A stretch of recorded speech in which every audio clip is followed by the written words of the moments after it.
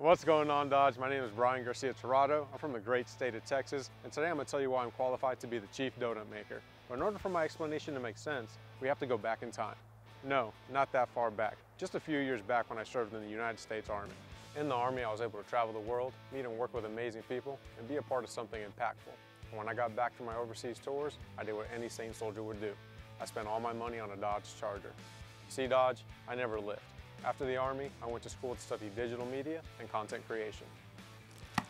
I also volunteer with nonprofit veteran organizations to stop the 22 suicides a day, and that takes 25-8 effort. Now I'm not just all work and no play. My toy of choice? My Dodge Challenger, of course. You see, over the years I found that Dodge is a brand that can really do it all. From cross-country road trips, to drag racing, and of course, the occasional donut break.